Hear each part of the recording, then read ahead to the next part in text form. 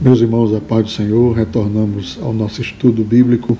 Tomemos Daniel capítulo 7, versículo de número 25, que nos diz: E proferirá palavras contra o Altíssimo, e destruirá os santos do Altíssimo, e cuidará em mudar os tempos e a lei, e eles serão entregues nas suas mãos por um tempo, e tempos e metade de um tempo Bom, é claro que nós estamos nos referindo, continuamos aqui estudando e falando sobre a presença, o surgimento, a influência, a atuação do anticristo neste mundo em um período próximo que se aproxima e que está chegando. E o que precisamos dizer nesse texto, baseado no tema ao qual nós vamos estudar aqui neste momento, o anticristo como instrumento de juízo contra o sistema mundial. Então observe que essa figura ele não será apenas um regente de um sistema, mas ele mudará e transtornará todo o sistema existente até então, algo jamais visto. Daniel profetiza dizendo que ele mudará os tempos e a lei. Ele mudará a ordem natural das coisas, a ordem jurídica, a ordem econômica, financeira. Então, ele é alguém que é, se instrumentaliza da, do seu poder e da sua autoridade para mudar algo que jamais foi visto antes em nenhum governo, em nenhum reino, será visto na atuação do anticristo. Mas, queridos irmãos, isto não é apenas uma ação do seu poder e da sua inteligência. O texto diz em Daniel de que é, serão entregues nas suas mãos por um tempo Observe que, e continua, né? e tempos e metade de um tempo. Observe então que a atuação dele, nesse sentido, é um ato permissivo, é um ato da permissão de Deus. Bem, meus irmãos, isso não é algo estranho dentro da cultura bíblica e do texto sagrado. Quando nós lemos Jó capítulo 1, versículo de número 12, a palavra de Deus nos diz: E disse o Senhor a Satanás: Eis que tudo quanto tem está na tua mão. Somente contra ele não estendas a tua mão.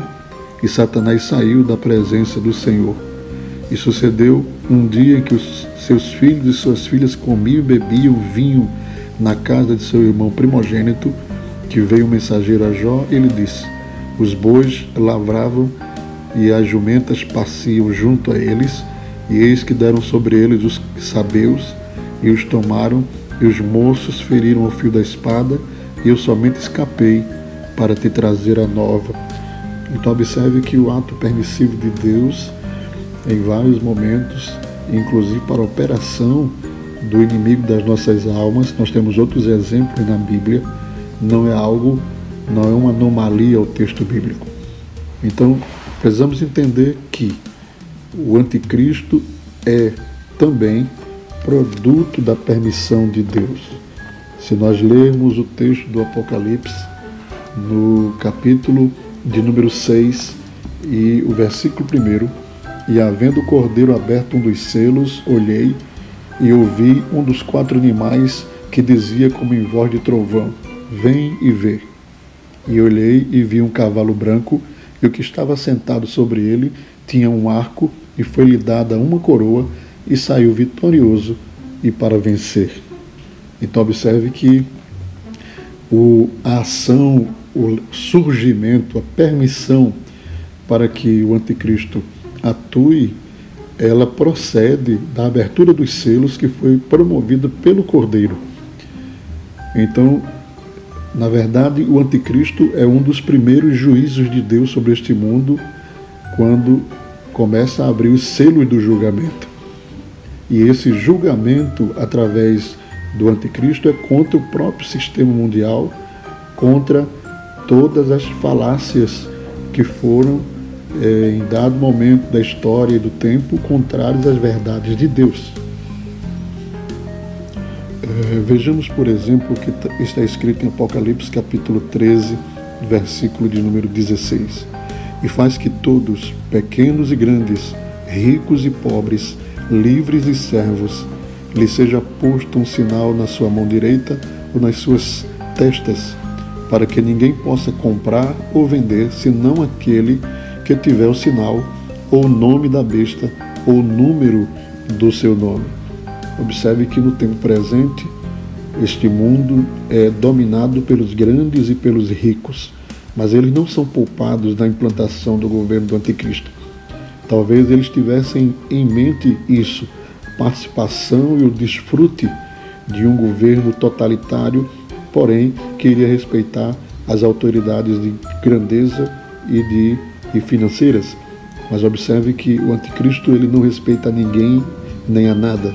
As classes ricas e poderosas serão subjugadas pelo seu sistema e serão igualados aos pobres, igualados aos servos, igualados aos escravos.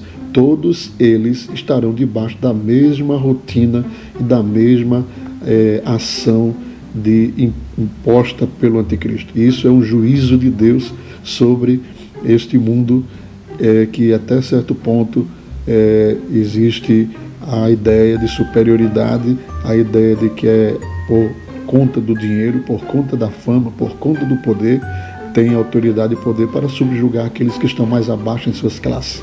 Então, todos os poderosos e ricos neste tempo, neste tempo presente, que aparentemente se acham donos do mundo, serão subjugados também por um ato permissivo de Deus através da malignidade deste homem chamado o Anticristo. Um outro equívoco, nós já falamos da questão financeira, das classes sociais, poderíamos aprofundar mais um pouco, mas é o suficiente para os irmãos entenderem. E uma outra falácia, um outro equívoco é imaginar de que é, no aspecto religioso o ecumenismo é a religião do anticristo. Olha, observe que o ecumenismo é a participação religiosa de todas as variantes e todas as crenças, respeitando-se em seus limites, ou seja, um, um cristão ecumênico, ele é cristão, mas ele tolera as demais crenças e assim perdurariam todas as crenças em uma só mesa, em um só ambiente. E isso é um equívoco ao acreditar e acreditar ao anticristo uma religião ecumênica. Na verdade, o anticristo não implantará uma religião do ecumenismo, mas ele destruirá todas as religiões sem exceção. Que diz o Apocalipse capítulo 13, versículo eh, de número eh, 4 em diante.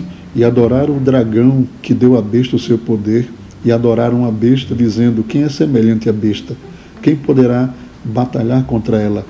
e foi-lhe dada uma boca para proferir grandes coisas e blasfêmias, e deu-lhes poder para agir por quarenta e dois meses, e abriu a sua boca em blasfêmia contra Deus, para blasfemar do seu nome, do seu tabernáculo e dos que habitam no céu.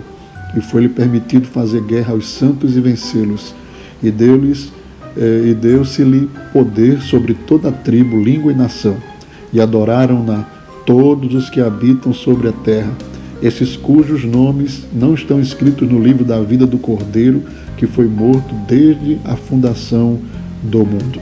Então, observe por esse texto aqui que não haverão ah, religiões ou seitas ou qualquer outro rito religioso ou qualquer outro tipo de prática religiosa no governo do Anticristo.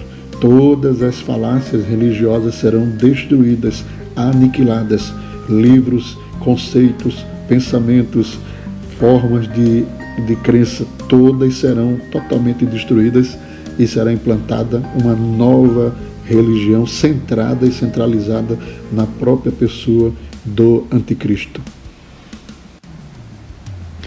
Vejamos ainda o que diz Apocalipse capítulo 17 e versículo de número 13. Este tem o mesmo intento e entregarão seu poder e autoridade à besta. Estes combaterão contra o cordeiro, mas o cordeiro os vencerá, porque é o Senhor dos senhores e o Rei dos reis. Vencerão os que estão com ele, chamados eleitos e fiéis. E disse-me: As águas que viste, onde se assenta a prostituta, são povos, multidões, nações e línguas.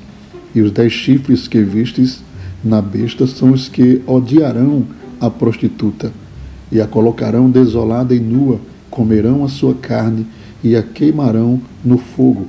porque Deus tem posto em seus corações que cumpram o seu intento. Observe, queridos irmãos, de que essa prostituta de que se está falando aqui no texto do capítulo 17 do Apocalipse é um sistema religioso que se aliou ao mundo, às nações, aos reis por séculos para dominar, para reger, para combater inclusive contra os santos do Senhor. Mas agora diz aqui a palavra de Deus que eh, os dez chifres que viste na besta são os que odiarão a prostituta, aquela que em dado momento contaminou, prostituiu, eh, tornou o mundo totalmente precário, destruído doutrinariamente, agora estava sendo devorada viva por aqueles que estavam envolvidos no poder. O anticristo é um instrumento de juízo contra o sistema mundial deste tempo.